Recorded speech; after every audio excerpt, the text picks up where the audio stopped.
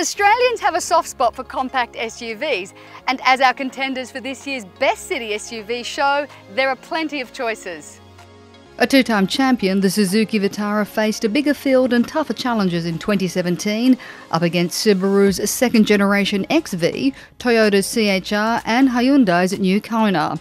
Pricing was extremely competitive in this mid range segment, with only $1,000 separating the cheapest baby SUV from the dearest. Starting from $28,500, the Kona Elite is the least expensive of the four and the newest arrival in this booming segment. And while the Kona's design divided the judges, they all commended Hyundai's efforts of breaking away from its usual conservative styling. The Hyundai Kona really brings the funk, both inside and out. It's a very interesting place to be and it has plenty of toys to play with as well.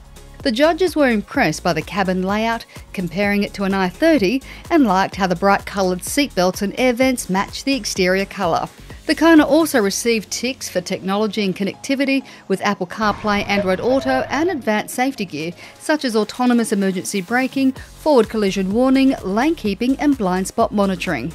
However, the Kona was also the least practical of the four, with the smallest backseat. The 2 litre engine with 110 kilowatts and 180 newton meters was rated as being the least refined and most underwhelming when pushed on the open road. The steering was vague with engine and tyre noise also a factor, but the 6 speed auto was well calibrated. Overall, the judges found the Kona to be competent, but it didn't excel in any areas.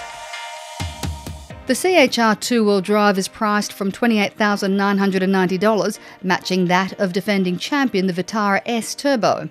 All the judges agreed the CHR was the most eye catching of the group, and like the Kona, the judges commended Toyota's move away from its traditional conservatism. The Toyota CHR illustrates perfectly where city SUVs are going these days. It's almost more of a fashion accessory than it is a car. The judges noted the CHR's sloping design hindered over the shoulder blind spot visibility, but it received big ticks for its modern safety equipment, including AEB, active cruise control, and lane keeping.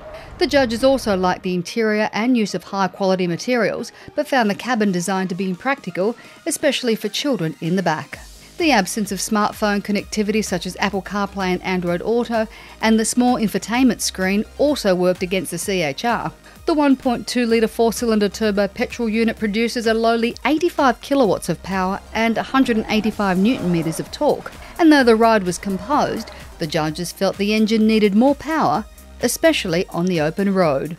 The judges found the CHR handled responsively during track testing, however, braking didn't fare as well, nor did its aggressive ABS. Of the quartet, only one proved to be the most capable off road, and that was the Subaru's all wheel drive XV.